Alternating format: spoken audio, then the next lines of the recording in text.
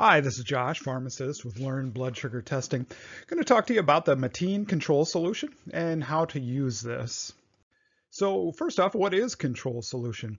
It's simply a liquid that contains a known amount of glucose, a known amount of sugar um, that works with the test strips to ensure that the meter and the strips are working properly. This helps ensure that your test results are going to be accurate.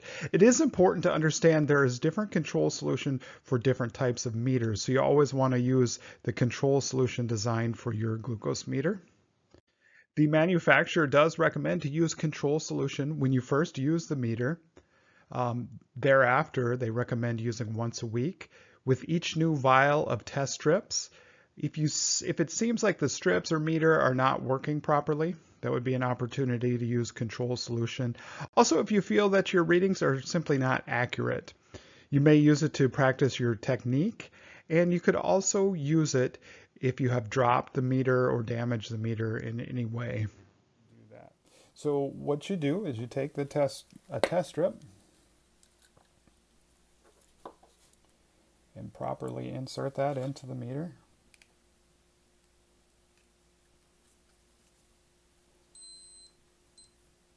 Oh, okay.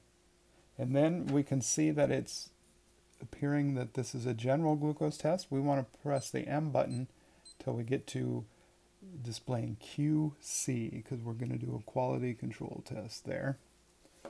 Then you'll need to prepare your control solution. You want to shake the solution thoroughly prior to using it. You squeeze out a drop and then wipe wipe the initial drop away. And then apply the second drop to the top of the plastic lid. Then you can touch the test strip to that drop to start the reading.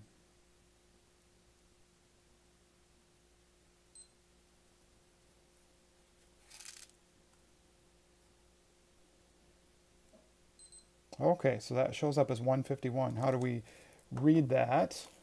Well, first off, we need to determine which control solution we have.